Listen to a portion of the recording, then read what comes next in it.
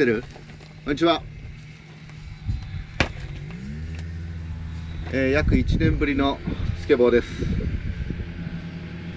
体重も、えー、約今17キロかな。